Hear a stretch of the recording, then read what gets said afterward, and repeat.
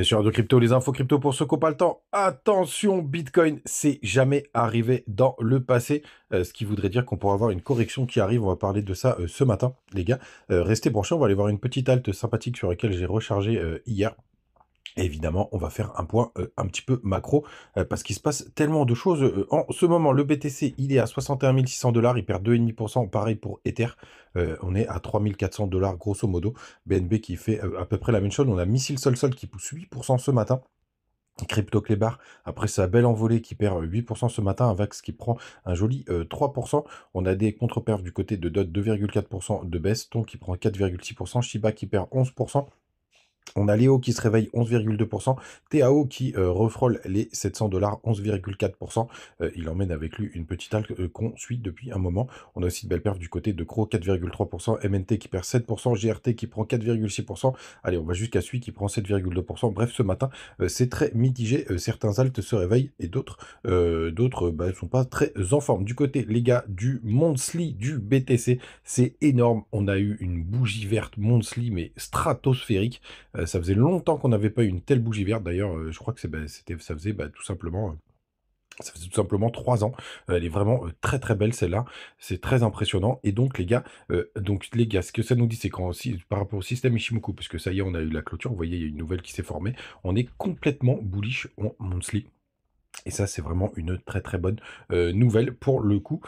Donc, ça veut dire qu'on a tout qui est ouvert. Par contre, les gars, attention, ce qui est important de noter, c'est que c'est jamais arrivé par le passé qu'on ait plus de 6 bougies vertes. J'ai fait l'exercice hier, puisque vous voyez 1, 2, 3, 4, 5, 6. Donc, c'est jamais arrivé par le passé. Hein. vous pouvez aller vérifier. Au bull run de 2021, vous voyez, là, il y a eu 6 bougies vertes avant justement le retournement. Et vous voyez ce qui est très intéressant. D'ailleurs, c'est pas pour autant qu'on ne peut pas faire un nouveau plus haut au mois de mars et avoir une bougie rouge. Euh, vous voyez d'ailleurs c'est ce qui est arrivé. Euh, c'est ce qui est arrivé. D'ailleurs on est pile euh, sur les mêmes sur le même top. Tiens, tiens c'est très intéressant, ça j'avais pas fait gaffe. On est pile, on est là en ce moment, on est pile sur le même top. au moment où je tourne la vidéo. Donc on pourrait faire un nouveau plus haut, pourquoi pas, aller break l'ATH ou aller se faire rejeter une nouvelle fois par, par le vrai ATH, donc vers les 69 000 dollars, et avoir une bougie rouge. Et vous pouvez vérifier, ici on en avait eu que 5, euh, dans ce bull run là, euh, ça a été euh, assez mitigé et là, ça a été la période aussi, c'était la dernière fois qu'on avait eu six bougies vertes, c'était entre 2012 et mai 2013 pour le coup, et là, il y en avait eu une, deux, trois, quatre, cinq, six, donc c'est jamais arrivé par le passé, les gars, je voulais vous le signaler puisque ça voudrait dire que sur le mois de mars, si l'histoire se répète, qu'on ait une nouvelle, enfin qu'on ait une correction un peu plus importante, ou en tout cas une bougie rouge où on se ferait rejeter alors, je vous préviens, c'est l'année de tous les records du BTC. Euh, pour le coup, là, c'est complètement barge ce qui se passe du côté des, ETF. Donc, est-ce que ça n'arrivera pas? L'avenir nous le dira, euh, les gars. Mais on est quand même sur des grosses, grosses zones rouges écarlates. On va passer en weekly.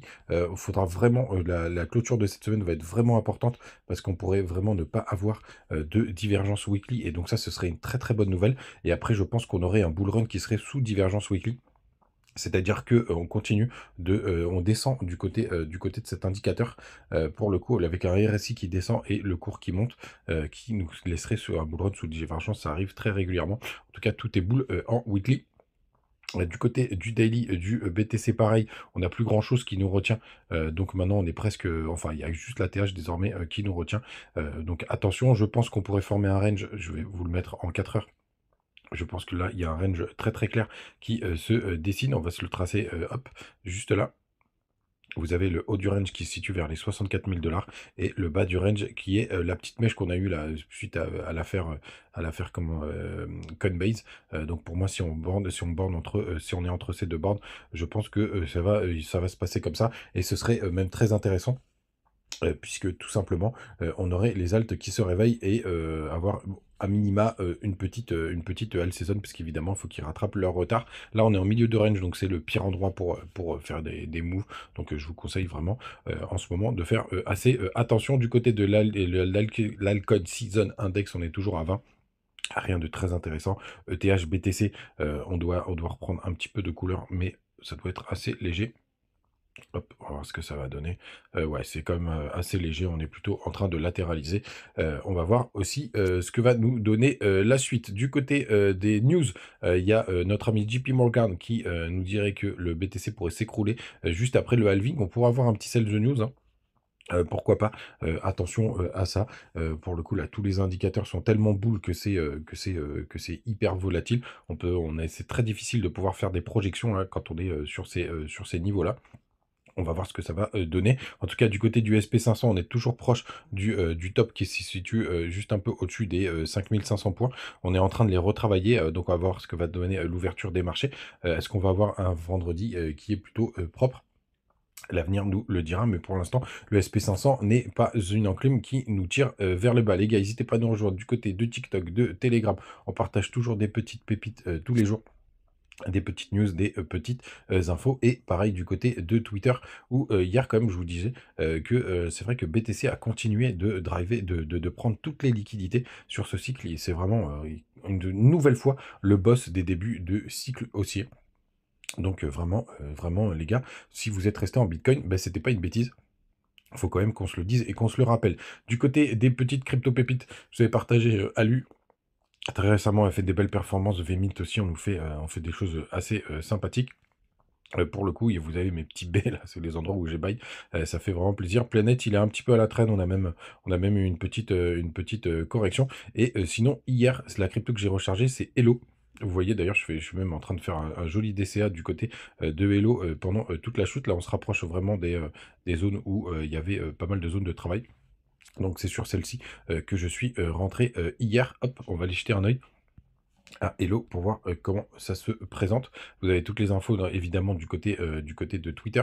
Euh, en max, on a touché un ATH très récemment. On est sur un petit low cap en full deal weight. pour le coup, c'est faudra, faudra pas trop rester longtemps pendant le bear market. Il y a 2 millions de volume, donc ça c'est plutôt pas mal.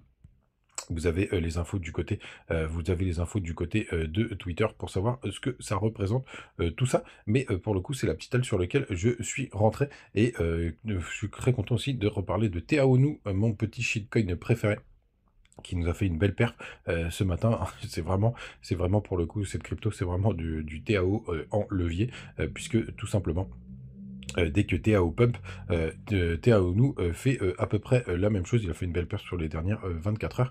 je vous le disais dans une vidéo, moi je hold, j'ai pris quelques profits hein, ici et là. Je me suis servi tout simplement des, profits de TAO nous pour rentrer sur quelques low cap que je vous partage très régulièrement du côté de Twitter. les gars, vous savez tout, passez une très très bonne journée. N'oubliez pas, c'est le mois de mars, ça va être ça va être assez charnière. On va voir si le BTC fait encore de nouveaux plus hauts. On va voir euh, s'il bat euh, tous les records. N'hésitez pas à utiliser les liens du côté de BigGet et de BingX et de Mexé. Très bonne journée, ciao